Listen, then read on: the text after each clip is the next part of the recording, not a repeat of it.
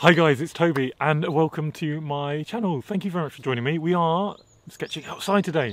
I've come to a tiny little village. I've done a couple of videos in this village now. This is Toseland and done a couple of videos because it's really lovely. Um, and uh, what I'm doing, I'm sat now opposite a church, which I will show you here.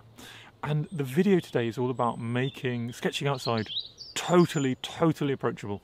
Really simple processes. I'll show you everything I'm using. Um, I'll show you how to get your scene um, right in your mind first, how to get that anchor measurement down so that it all goes right. Except nothing ever goes right outside. So forget perfection and just enjoy yourself with these simple processes. If you want more of that kind of ethos, more of that kind of style of sketching loose to enjoy yourself, then check out my course, sketchloose.co.uk. Um, there are literally hundreds of people there now, which is absolutely amazing. Um, and the reviews have been great, so I'd love to have more people come over there, enjoy, and share the sketch loose, sketch loose mantra ideology of having fun and just developing our own style because we want to. Now, with that, let's get into sketching outside. How we do it, what do we need, and all of that jazz. So, the first question is what should we bring outside? And honestly, you really don't need much. Um, you can just bring out a sketchbook and a pen, and I've shown you that kind of thing with um, just doing really simple ink sketches. When we're adding a bit more complexity, perhaps using watercolours like today, it's great to have a little surface. Now I've got this, you can hear it's nice and hard. It's actually a little case by Ikea, costs a little over £10 in the UK, and it's really wonderful. And why is it wonderful? Well, it unzips here, and not only do we have a hard case where we can pop our paper, we also have a load of storage inside. And inside this storage, if I just turn it around, apologies for banging the camera there, you can see I keep some paper, which is awesome. I've got a few different things. I've got some sketchbooks that I've made just by um, stitching together some paper, really lightweight and loose, and that way you know it's quality paper. This is what um, I'd be using for like a, a, linear little fun little scene as well. This is a, a block of paper. On the other side, I've got my watercolours, my normal set of watercolours. I'm going to get them out now because we will be using them. I normally keep my little water pot in there as well, just expandable. Again, got that out because I'm going to be using it. Um, carry around my little pot of water along with that. What else we got inside? Loads of little storage bits. So I've got the kind of array of pens you probably expect me to carry. Got three different fountain pens because they've got different inks in. One's uh, waterproof, two are water soluble, one of them's black and one of them's brown. I've got two um, travel brushes. They unclip like this, really handy. Keeps the brush safe. Doesn't mean doesn't let it get damaged. It's got two of those, one in a size six and one in a size. Uh, this is a size 12. Ooh, dropping everything today. One, this one's a size 12. I've got a water brush um, for quicker, easier sketching. Uh, I've got a brush pen and a Fude pen. So loads and loads in here. Now I'm just going to get my bits out. So I've got this little sketchbook eyed up for today. I want my fountain pen and two brushes. Then I could just close up my case, pop it back, and just like magic, I've got my surface ready. So you can see my view in front of me here and you can see it is absolutely ready made for a beautiful easy little sketch. Why is this beautiful easy sketch? Well it's naturally framed by these two hedges. It's got amazing light on it with the shadow also on these hedges. It's got no perspective so it's a, a linear sort of zero perspective scene. And what do i mean by that? Well look all the angles are at 90 degrees or 45 degrees they're how they're supposed to be and they're all symmetrical and that makes it really easy as a starter when you're first getting outside. Because what you don't want to be doing is over challenge yourself with these complex, challenging scenes when actually getting outside is already enough of a challenge sometimes. Having found our scene, what do we need to do? Well, we need to get comfy. Now, I could carry this around, actually, I can stand up with this and it's okay. But, you know, if you can find a seat, even better. But what do I do? Well, look, I've got this. This is my magic, uh, my magic seat, my my companion, which I can just carry around with me, it means basically wherever there's a scene, I can have a seat. So having a really simple solution like that, um, I highly, highly recommend. Why don't we just start sketching? Now, outside, it's hard. Why is it hard? Because when we take a photo, we get a frame. So a photo of my scene today, beautifully framed. From that, it's really easy to work out exactly how to sketch the scene. Alas, the real world doesn't work that way. Our vision is huge, our paper is small. So I really recommend adding in a step here, adding in a step to our normal processes. And what is that step? It's a thumbnail. So actually, let's just, in our paper here, do a tiny thumbnail. And here we can work out how to measure, how to get our scene sort of working for us before we set out on our big piece. So what am I going to do? I'm going to try and get my main object into the scene and uh, not have it disappear, have it the right size and not have it too big, have it fit. Because often we, we sketch and we, we end up making something either way too big way too small. So how am I going to do that? Well, I'm going to take an anchor measurement. So an anchor measurement is where we find a key part of the scene. So in this instance, I'm going to say the bottom half of our church is, a, is our anchor measurement. And we've got this kind of pillar in the middle. Now everything we can now measure from that. So as long as we get this the right size in our scene, now if we, we go, well, then the kind of triangle of it is about that big. And then the top is probably about that big again. So look, I've made this too big. So just through that one anchor measurement, I can discover, you know what, I've already gone too big and this scene isn't going to fit. This is a thumbnail though, so I can just decide to shorten it, shorten that and shorten that. And now I can just really quickly do a check of how my thumbnail is going to fit now. And so we go and just grab our key shapes, then there's the triangle, then on top we've got this kind of uh, rectangle and a triangle. What else is key? Little circle, little ellipse here and there. Then to the side, we've got some little shapes. To the other side, I've actually got my bush coming into my view here, and another bush here. And then also, at the bottom, we've got the fence just coming in. Is the fence going to work in our scene? Well, look, I think the fence is actually going to work. I think the fence looks really interesting in our scene. But what's the problem? it doesn't fit. So again, look, my thumbnail has really helped me work out my composition. And I've made mistakes. I've made loads of mistakes. I made the mistake at the beginning, I made the mistake at the end. So we can now take that on board and try again. So let's do another thumbnail.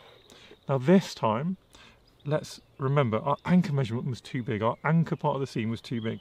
So if we make it smaller this time, and I make it start a little bit higher, so I can fit in this, this fence, and then hopefully, if I just remember my shapes, look at my scene, look at this as well, and what we'll end up with is something which fits really nicely.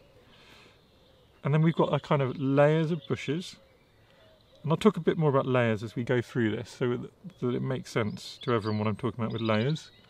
Layers is a really great way of thinking for sketching. Um, and then we can just pop in our fence and look, now we have a lovely composition.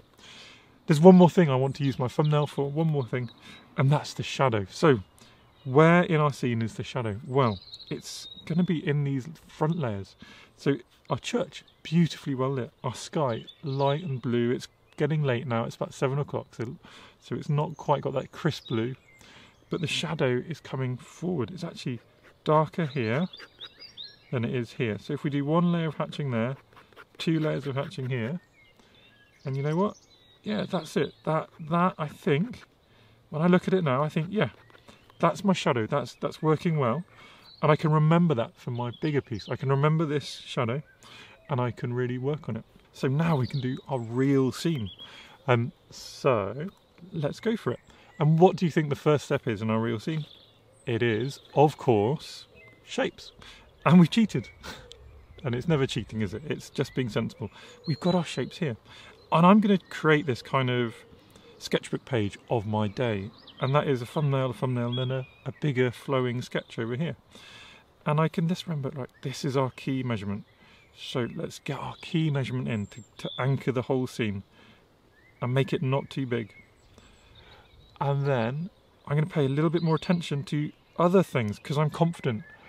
I'm confident now. I'm going to pay attention to the textures as I'm doing the shapes. Because shapes have texture. You know, it's no good trying to draw an old church and then at the end try and add in the, the feeling of old. No, when we're doing these first shapes, we've got to look and go, look, it's got these kind of big brick-like textures. So these first shapes, you know what they need as well? They need that sort of big brick-like texture. And then at the bottom, it's got all these sort of pebble, pebble dashed feels. Now there's something I didn't practice here got a few gravestones and a bench and things like that in our scene. And why not add them in? They are, again, just simple shapes. And we can be confident just adding them in because we've warmed up with our thumbnails. We know they're going to fit. They're not going to struggle. Don't need to add all of them in, but maybe we add a few, maybe three or four. And look, we can overlap our old lines as well. This is sketching. It doesn't matter if things are layered in the wrong way. Um, we can overlap, we can have fun, we can play around with our scene. So look, there's my gravestones now added in. What else we got? We got this little building in the back, just an edge of it.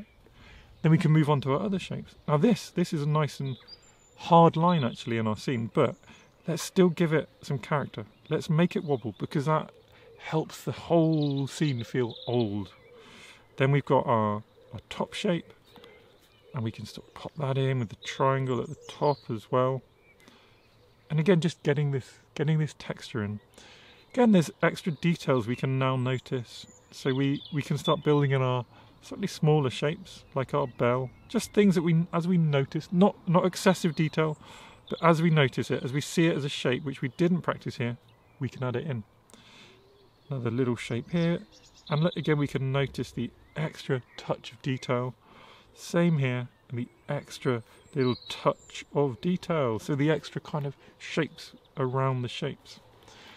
Now, this is where we're going to start thinking about layers. So we're still on shapes, we're still on step one, but we're thinking about how do we build the shapes as we change layers. And what do I mean by layers? Well, this is one layer. This is all in one sort of part of our vision. So we can call this kind of the middle ground. The background is basically in this, it's just the sky. We can't see any distant trees, but that would be another layer. If we could see trees, that would be a layer, and then the sky would be another background layer. So each layer is a kind of place in space. And as we come closer and closer, we are changing layers. So with that in mind, let's just sketch in layers. So our next layer forward is this lovely gate that we practiced. So we can just come forward and we can sketch that over the top. And it doesn't matter that it's over the top. It doesn't matter that it's layering up. It doesn't matter that it's layered wrong in the sense that in reality you can't see through the gate. I mean, you can see through the gaps, but you can't see through the metal. It doesn't overlap like this. That's fine. We've also then got this distant bush, this more sort of distant bush, this one here. And that is part of this same closer layer. And within that, we can just, again, think about the texture. It's a simple shape. It's a, a rectangle. It's got some little bits of uh, fence poking out the bottom here we can add in. But we can think about texture as well. Then, within that same layer, we've got another bush, which is just over here. So we can just add that in. And again, that one's a little bit higher, so I'm going to make it higher than that one. It comes across. Then we've got yet another layer, and that is the last shape we're going to add in. It's a bit taller. I'm going to exaggerate that tallness. It's only taller because of the perspective, which I said there wasn't any in this scene. But of course, there's always a bit of perspective. So this one's taller because it's closer. So because it's closer and it's higher than my eye level, it ends up looking taller in our vision. If if that's too confusing for this for the the purpose of this simple sketch, just ignore it. Just either make it taller, make it the same height, or don't worry about it at all. But just be aware that yes, there is actually in every scene there's always some perspective. We're always simplifying, we're always making our sort of best guess attempt. But there you go, that is what I mean by layers. And these layers are going to become even more important as we move on. Step two, we will keep our pen out and we are doing details and shadows. And again, you guessed it, layers are going to come in. So let's start, details we're going to start in our lovely church. What I'm going to do is I'm going to find some of these lovely brick shapes. And they're quite symmetrical, so I'm going to find them on both sides of the church and that just gives the church a lovely sort of unified feel.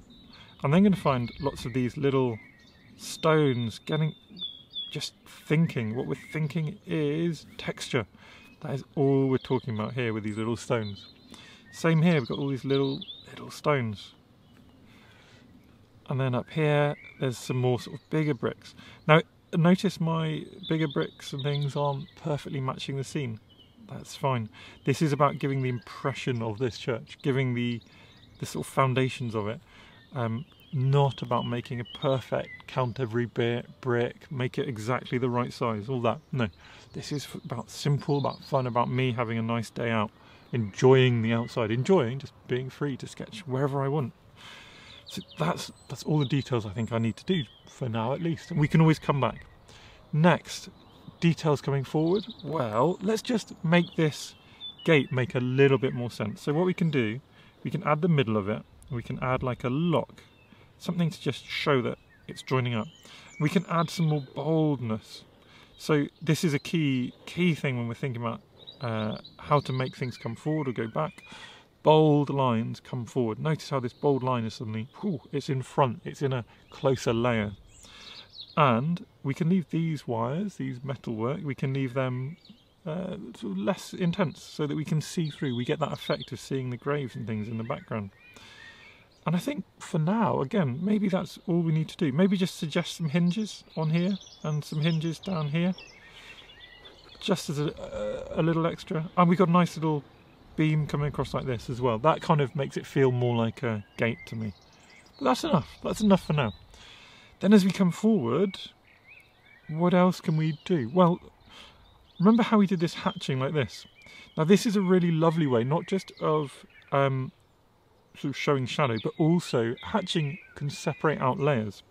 So to show the shadow, we could just do some really simple linear hatching. And now, by doing linear hatching on these bushes, and only these bushes in this direction, they're in their own layer. What we can then do is come to our, our next layers forward, and we can do hatching in a different direction. And that separates out those layers as well.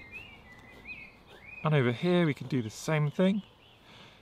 And we can also just remember bold lines come forward. So to help this layer even more, we can just embolden it. So now, I'm doing the wrong, I'm doing the wrong bit there. Silly me. Easy to, to slip up. Don't worry about it. If you leave it there, it's not going to be a problem. We just correct it by making this bit even bolder, making it stand out even more. And now, as I was going to say before I realised I was being silly, we can come and add some little details in the front. I got lots of lovely buttercups, little daisies, just suggest all these lovely little flowers in front. And now we've got this kind of layer, layer, layer, all simplified. And what's the magic about this hatching? Well, the magic you'll see, not just in separating out the layers, but also this enables me to leave a lot of negative space. I no longer have to add colour to these layers, they're already filled with ink. So the next part of our process is those lovely loose colours, and we can just go. So let's just go straight for it. Now, if I'm thinking about how to simplify the colours, um, what I'm going to do, I'm going to start with a nice, bold, happy, bright colour, which suggests that, that sort of brickwork on the church. And I'm going to start with that because that's going to, for me, it's an important part of our sort of scene. Obviously, it's the main focal point. And from there, we may not have to add colour in many other places. We may be able to get away with very limited colour. Or we may end up deciding, you know what, we want more and more colour. We'll see. So what I'm using here is quinacridone gold. I'm going to let it run and move. I'm going to push it down the page and just let it have some fun. I'm going to add a bit of quinacridone sienna in a nice warm colour just to get that variation. And variation is absolutely key and king and super important in, uh, in watercolours. Now, having done that, we can start examining where does the next bit of colour want to be. You know what? I'm now going to decide I do want colour in the sky because we've got all this potential negative space here and just little flick of blue in the sky I think may just allow us to leave so much more negative space. That blue also lets us explain a few bits. So it lets us fill up here, lets us fill up this gap, and keeps it connected and keeps it explained. And so let's just bring that blue round. And look, these colours are leaking together. Not a problem. This is all part of the process. Letting things happen, letting them do their thing, and then we'll come back, we'll respond, we'll see what changes we want to make as a result of what the watercolors have decided they're going to do because that's what they do they they make up their own mind and either we can try and get stressed. Well, for me, I can either try and get stressed controlling them, or I can go, you know what, you do your thing, I'll do mine, and we'll we'll compromise in the middle. And normally uh, they're better at doing their thing, and so I, I'm really happy that I let them. Now, do you see what's happening? We've got this effect where we've got lovely bright colour pooling down, and then this negative space forming a really nice um, frame. So what we can just do is observe what's happening. We said at the beginning, you know, I know I want colour here, I don't know where else I want colour. Well, now I know I want some nice, sort of lovely greens to just come down here as well. And then the, the greens and everything can be pooling down and mixing down and coming towards us. Maybe some bright yellows in here. I've not been very good at telling you what colours I'm using, have I? Uh, cobalt blue. I did mention the quinacridone gold, quinacridone sienna. This is a Hansa yellow medium. And then this green, this is a Cascade green. So they're all the colours I've used so far. And I don't anticipate that I'll be using many more. I may use a couple more, but not many more. What else can we add just to oomph this up? Well, look, let's get these lovely wooden posts just in a nice deep uh, sort of orangey brown. That's my quinacridone sienna. Same over here. I'm going to invent a, a post and maybe even uh, the middle won't work. I was going to do the middle, but as I touched that colour in, I realised it just won't work. Uh, something about it just didn't feel right. Going to punch out this gold a bit more, drop a bit more gold in here to, to sort of remove that blue. And then, you know what? A few splashes, a few more splashes here, a couple of green splashes just to fill in this negative space. And that is step three done. That is our loose colours done. So we are mostly dry, and you can see the dramatic change. This is um, really toned down. It's got so much more gentle, and we are ready, of course, to move on to step four. Now, um, most often I would probably add a bit more watercolour, but because we're outside, because of all the flowing, I actually want to just restructure a bit and then really work out do I need more watercolour? Um, if I was certain I wanted more watercolour, I'd do it now. But actually, we're working in these layers, and I really want to just get them back with all this looseness, get those layers back. And this is why I bring a few things with me. So at the beginning, I mentioned I have like a Fude pen. Fude pen is a um, pen with a flexible nib, and this one is by Tombow and it means we can produce light lines and bold lines. Now, if you only had one pen, not a problem, you just press a little bit harder, you'll get a bold line. But what I actually really want, what I think this needs is some bold lines. So that's what we're going to do now in step four. We're going to restructure our image with some really bold lines. So I'm going to start at the back. I don't want to be too bold because I don't want this to come right the way to the front. But at the same time, I am going to exaggerate it because it is our our focal point. It's our main thing. It's the reason I'm here, the, the lovely church. So exaggerating this, boldness, to sort of suggest it's a bit further forward than it actually is. And also to pick out a few more of these textures. Now there's another bit that I wanted this boldness for, and that's to really um, create contrast. And what I feel this scene is missing is contrast. We've got bold lines, we've got a lot of negative space, but we've not got anything really dark. So I'm going to just take a risk and see what happens if I start making some of these areas really dark, like under the bell, like under this arch. And I think, I hope, because I can't take it away, of course, I hope that this boldness will just elevate it, will just give us something a little bit extra to look at. And that contrast will suddenly make the negative space more important, will suddenly make the light more important. Now we can come round, grab these little, um, remember we added in all these uh, gravestones, and again, here's an option, like why don't we make some of them black, some of them white, and now instead of getting lost behind this um, uh, this complex little bit of line work, we suddenly got these contrasting black and white objects which we can understand and see and visualize a bit more. Coming down, we've got the edge of the church, the little church building behind, which I'll hatch in as well. And I notice now a lot of my light is changing. So I have the option to change some of the shadows. Now, to make life simple for myself, I'm not going to. I'm going to, I'm going to stick with when I was first here and this building was bright light. I'm going to stick with that vision. As I come forward, I'm going to start now really emphasizing this kind of layer effect, really emphasizing with this bold line to just separate things out again. I'm going to use where these colours have gone as a new edge as well. So if we just find where our colours got to and we just go round the edge, the natural edge which has been formed by that flowing of watercolour. And there we go. So suddenly things are, for me at least, making a little bit more sense, making a bit more uh, clarity on the page.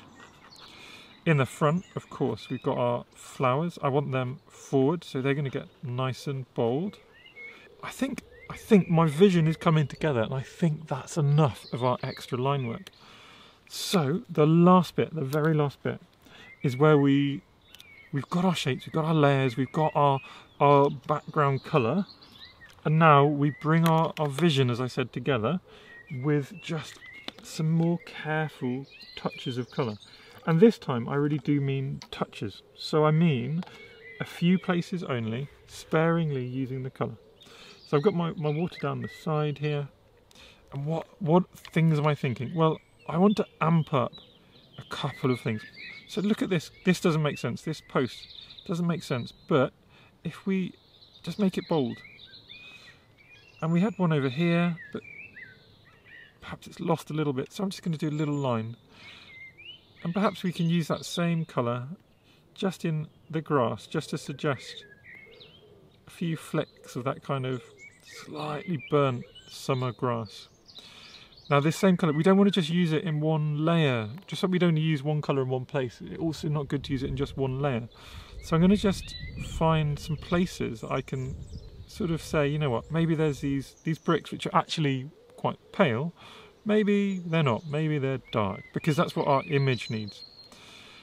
And then maybe just to balance that out, we'll come back in with our quinacridone gold, so this was quinacridone sienna, and we'll go, you know what, some of these bricks, maybe they are nice and yellow and bright. Get some splashes in there to suggest texture as well.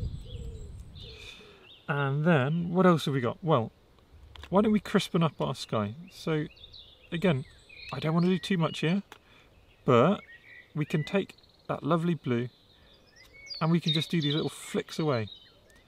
And now we've still got this the sky and the the uh, the church joining, I hope you can see they're still sort of joining because we've still got the the sense underneath, the transparency of watercolour is still underneath. You can still tell that the colours have merged, but also just these little flicks of blue amp up the sky, don't they? They really amp up the sky, and we've got this layered effect of the sky again. And now layers are becoming a real feature of this image, which is amazing. It's great having our our image sort of having a nice consistent feel. Again, we don't want to use this blue just in one place, so maybe some of our flowers are blue, because why not? They could be, we don't know. Well, I do, they're not blue. I'll tell you they're not blue, but we didn't know they're not blue. We, they could easily be some little blue flowers in this scene. I want this yellow back in some of these flowers as well. And to keep that theme, I want some splashes of yellow as well. And then, again, don't want the yellow just in one place. So maybe the bell is yellow, maybe there's a little yellow up here, and you know, touch of yellow just in splashes. And I know what you're thinking, if you're thinking the same as me, that was too much in places. That's fine, that's why we paint wet.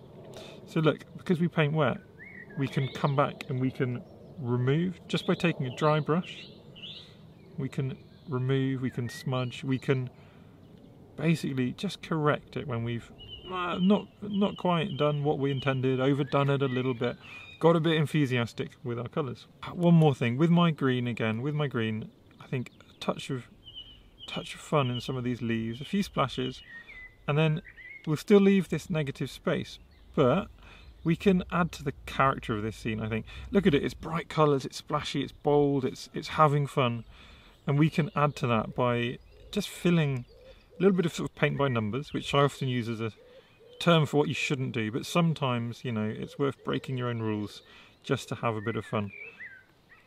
pop in some, some grass-like shapes here. Maybe, these are meant to be bricks, these little bobbles, but maybe they'll do better as little punches of grass. And what you don't want to do, as I always say to myself and on this channel, what you don't want to do is keep going until you wish you'd stopped. So, I'm not going to. I'm going to stop there. And that is my little day out in Toseland. If you enjoy, please do consider checking out my free course, brand new free course, 10 days of sketching. The link is below. And of course, don't forget to like and subscribe. And there's a load more sketching outside tutorials in the description below, so check them out as your next video. So thank you everyone for watching my little sketching videos. If you enjoy my content, please do subscribe to my channel because it makes me really, really happy. Thanks again.